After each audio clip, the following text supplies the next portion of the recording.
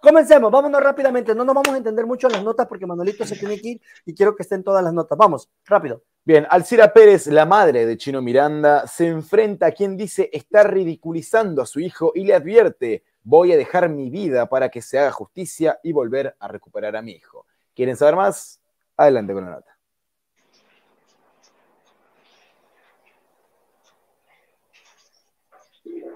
De sus problemas de salud que comenzaron en 2021, Jesús Miranda, mejor conocido como Chino Miranda, ha enfrentado una verdadera pesadilla no solo por su estado físico, el cual ha ido recuperando, sino por todo el escándalo que se ha generado en torno al cantante, quien recientemente otorgó una entrevista al publicista Israel Gómez, charla que de inmediato hizo eco por todos lados. En dicho video, el cantante de 38 años contó su versión del momento en que fue internado por primera vez, en contra de su voluntad, en un centro de rehabilitación llamado Tía Panchita. Habló sobre la rivalidad que existe entre su mamá Alcira Pérez y su novia Astrid Torrealba Falcón y sobre la verdadera razón de su regreso a Venezuela. Pero es precisamente Doña Alcira Pérez, madre del artista, quien tras la publicación de esta entrevista sacó las garras para defender a su hijo y se le fue con todo a Gómez, incluso lanzándole una seria amenaza y hasta señalando que no bajará la guardia y que hará todo por recuperar a su hijo. La señora recurrió a su cuenta de Instagram y lanzó un potente mensaje al Señor.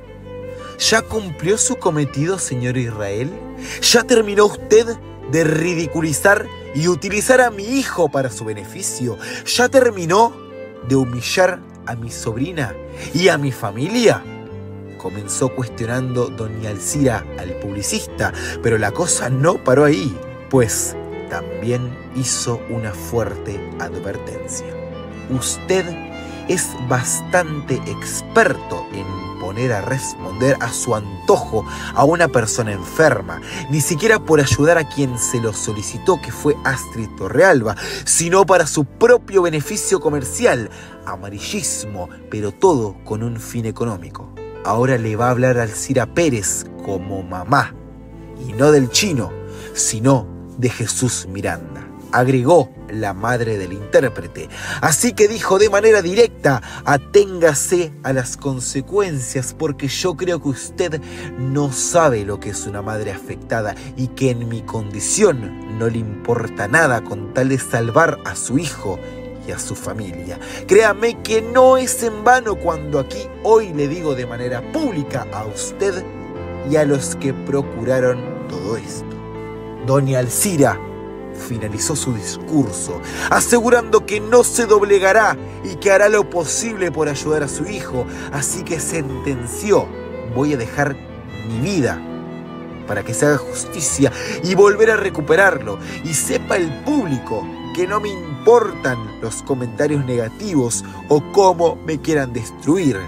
Palabras que se esparcieron como la pólvora y que podrían detonar la bomba de nuevo conflicto en toda esta historia. Con estas declaraciones dadas por parte de Alcira Pérez, madre de Jesús Chino Miranda, volvemos con más en el precio de la fama.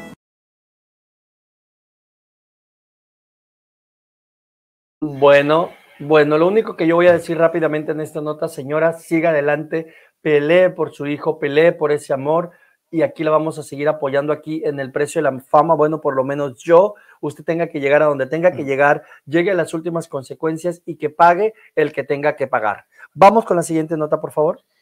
Bien, un buen susto fue el que se llevó José Torres al recibir una llamada a su puerta, abrirla y encontrarse con dos hombres en su entrada preguntando por él. ¿Qué pasó acá? Es breve lo que les voy a contar. Es un video de José Torres que sube en sus redes sociales, el cual llega eh, dos personas a su puerta, Eh, José Torres abre la puerta muy asustado pensando que puede ser lo peor, que pueden ser agentes de inmigración, que pueden ser policías que lo vienen a buscar. Y no, resulta que estos dos hombres eh, se comunican con José Torres en inglés, José Torres no entiende, se comunican a través de teléfono con un hombre que sería el gerente, el encargado de la empresa, se comunica con José, le explica que estos dos hombres vienen a instalar un sistema de alarma en la casa y ahí José eh, cambia su cara completamente, sonríe a la cámara y demuestra que el miedo ya pasó. Y yo te digo, José Torres, si querés dejar de pasar miedo, deja de divulgar información tuya a través de tus videos diciendo que no tenés licencia de manejar y cómo te manejas por las calles, porque en algún momento u otro te van a caer a tu casa, rey, y no te va a gustar nada, vas a pasar mal. Yo no sé qué tengan ustedes para decir al respecto de este video que subió. No, y sabes que es súper eh, intraproducente y contradictorio todo lo que él dice, como por ejemplo cuando hablaba él muy sácale punta, que él no necesita aprender inglés, que él no necesita hablar inglés, que porque él canta en español y que eso no es necesario, que él no necesita el inglés, que no le va a dar gusto a la gente. Precisamente para cuando te sucedan cosas como esta y no hagas el ridículo, y entiendas un idioma y que te quites tu cochambre mental que tienes, fotos de collage, tu cochambre mental que tienes en tu mente y te lo quites y te lo desgarres. Para eso es que tú tienes que hablar idiomas. Para eso tú tienes que hacer todo lo posible por hablar el idioma donde tú vives, precisamente para que no te pasen ese tipo de cosas, porque ahí te miras, o sea, ahí te miras como un ignorante, como un patán, como un indio, como una persona sin educación, sin glamour, sin estudios, sin nada.